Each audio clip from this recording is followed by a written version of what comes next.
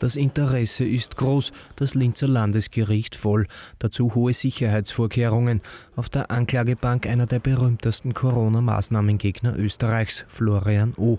Die Staatsanwaltschaft wirft dem ehemaligen Biokoch die Verharmlosung des Holocaust vor. Er hat 2021 in sozialen Medien die Corona-Schutzmaßnahmen mit der systematischen Verfolgung und Ermordung von Juden verglichen. Obwohl es um das Verbotsgesetz gegangen ist, ist heute kein klassischer Nazi im Gerichtssaal gesessen. Es war ein Mann mit Dreadlocks, mit einem bunten T-Shirt, Jeans, Sneakers, der sich äh, mit den Worten verteidigt hat, dass es nicht seine Absicht gewesen ist, die Corona-Maßnahmen mit äh, der Judenverfolgung etwa zu vergleichen, sondern vielmehr davor zu warnen, dass so etwas nicht mehr passieren sollte. Der Angeklagte hat sich deshalb auch gleich zu Beginn des Verfahrens nicht schuldig bekannt. Es geht um das gröbliche Verharmlosen von nationalsozialistischen Inhalten und nach meinem Dafürhalten ist es nicht passiert.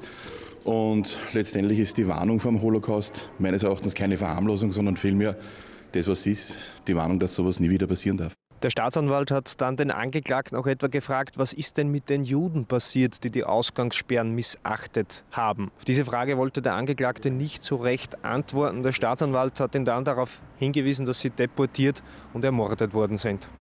Mit den Corona-Maßnahmen also nicht zu vergleichen. Eigentlich wäre Florian O. bereits vor mehr als einem Jahr vor Gericht gestanden, ist aber untergetaucht. In diesem Sommer ist er dann verhaftet worden, als er seine tote Frau im Kofferraum ins Spital transportieren wollte. Die Ermittlungen dazu laufen noch.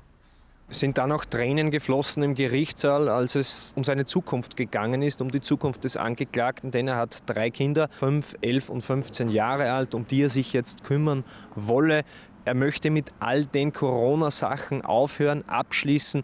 Wenn er noch einmal die Wahl hätte, würde er überhaupt nichts mehr tun, seine Meinung überhaupt nicht mehr kundtun. Er möchte, dass alles so schnell wie möglich wieder vorbei ist und dass er so schnell wie möglich wieder bei seinen Kindern ist. Ich glaube an unseren Rechtsstaat, ich glaube insbesondere an die Richter unseres Gerichts und ich glaube auch an das Gefühl der österreichischen Bevölkerung hinsichtlich der damaligen Maßnahmen und ich glaube auch, dass die sehr wohl zwischen Unrecht und Recht unterscheiden können.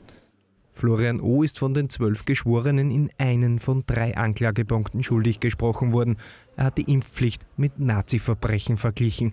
Dafür bekommt er drei Monate bedingte Haft und drei Jahre Probezeit.